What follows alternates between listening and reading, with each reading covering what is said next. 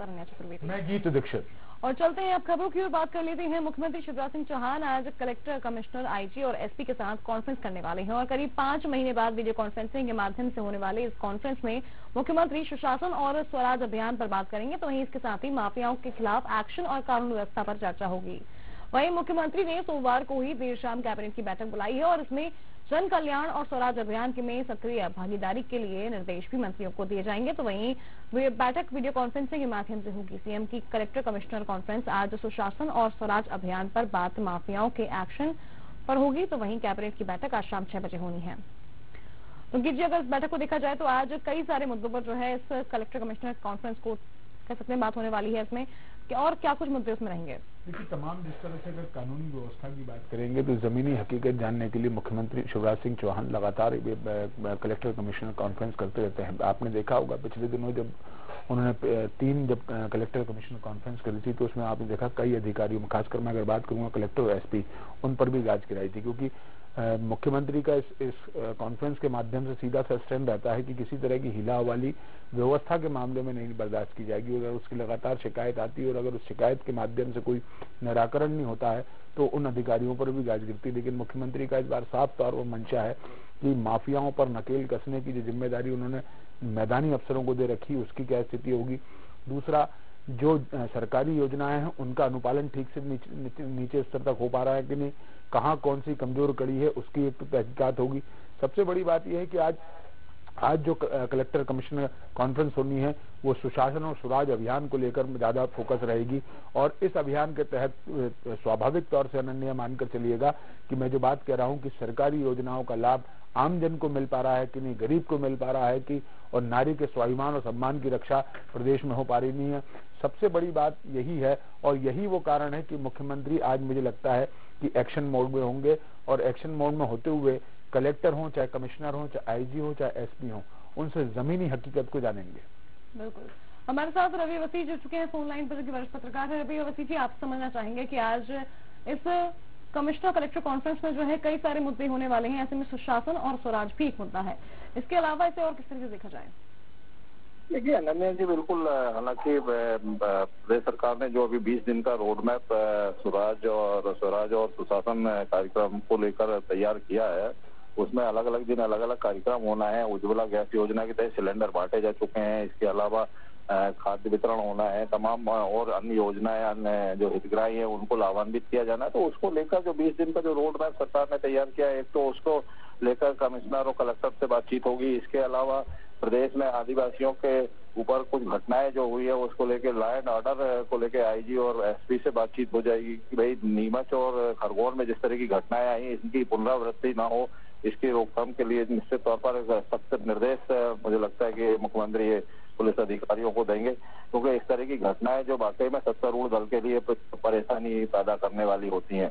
तो स्वाभाविक तौर पर एक तो कलेक्टर कमिश्नर कॉन्फ्रेंस में इन्हीं मुद्दों पर जो चर्चा होना है, जैसे गीजी ने भी कहा कि स्वराज और सुशासन को लेके सरकार बहुत गंभीर नज़र आ रही है। अभी तीन दिन पहले मुख्यमंत्री जी ने कहा भी कि भ्रष्टाचार के मामले मामले में ज़ीरो टॉलरेंस नीति अपनाएँगे और अब जो प्रधानमंत्री ने जो कहा है कि ना खाऊँगा, ना खाने दूँगा, वो भी इसी राय पर चलने की कोशिश करेंगे।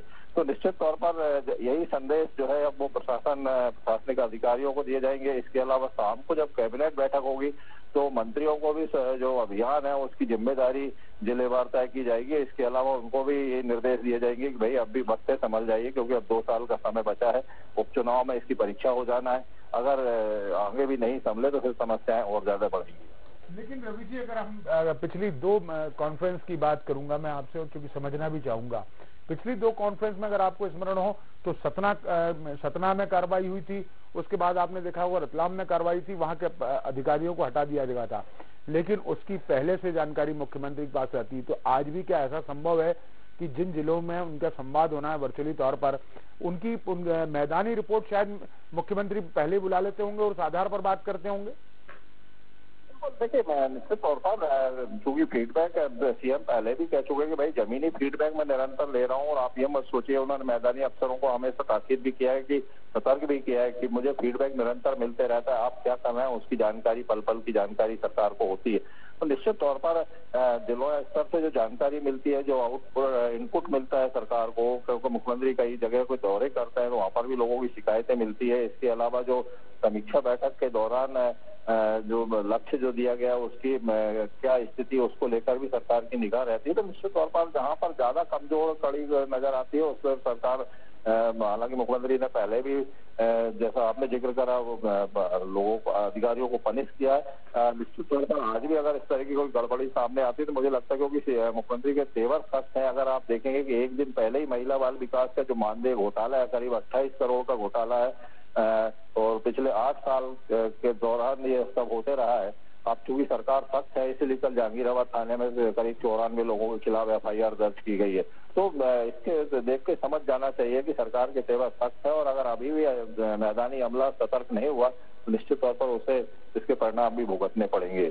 देखिए रवि जी पिछले दिनों हमने पृथ्वीपुर की सभा में देखा था आपने भी देखा होगा कि जब मुख्यमंत्री का जो एक्शन मोड आया मैंने पहली बार ऐसा देखा कि उन्होंने मंच से ही जो है तहसीलदार को और दो दो साथियों को तत्काल सस्पेंड करने के आदेश दिए थे क्योंकि हिला हवाली बर्दाश्त नहीं कर पा रहे हैं। और ये संदेश लगातार मुख्यमंत्री देते जाते हैं। लेकिन बावजूद इसके मैदानी अफसर इसको समझ नहीं पा रहे हैं।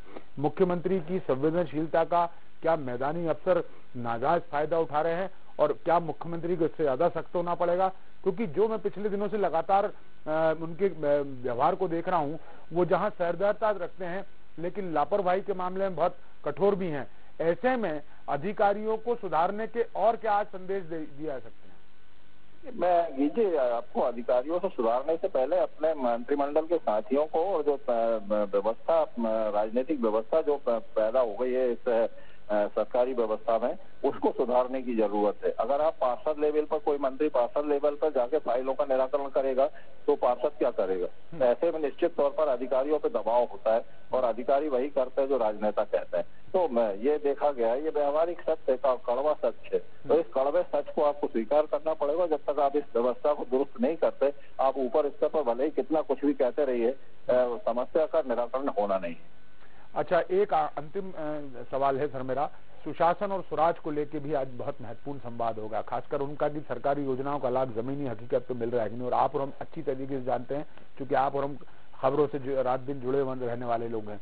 जमीनी हकीकत में सरकारी योजनाओं का लाभ नहीं पहुँच पाता है कई बार, सीधे तौर पर उसका भी फीडबैक मुख्यमंत्री के पास आता है और इसी कारण जो है मुख्यमंत्री अपनी अनुशासनात्मक कार्रवाई करते हैं। इस सुराज और सुशासन के माध्यम से जहाँ सरकारी योजनाओं का लाभ लेंगे। हीला हवाली की जानकारी स्वाभाविक तौर से मिलेगी। ऐसे में क्या लगता है कि वही कठोर, कठोरतम शिवराज देखने को मिलेंगे आज? हालाँकि सीएम ने संकेत दिए हैं। दो दिन पहले जब प्रदेश भाजपा कार्यालय में एक प्रदर्शनी का लोकार्पण उद्घाटन करने गए थे, तब तो उन्होंने साफ़ तौर पर कहा कि वो मोदी जी की राय पर चलेंगे। लेकिन मोदी जी ने जो पिछले सात साल में जो किया है आपको उसको देखना पड़ेगा। तो उसमें उन्होंने दिल्ली में बैठ के पूरे देश की व्यवस्था को ऑनलाइन सिस्टम जोड़ा है, चाहे वो हितग्राहियों के खातों में सीधा पैसा डालने वाली बात हो, या दूसरी अन्य योजनाओं का लाभ पहुँचाने की बात है। पूरी निगरानी है, पूरा सिस्टम उन्होंने जो डेवलप करा है तो राय पर चलने के साथ साथ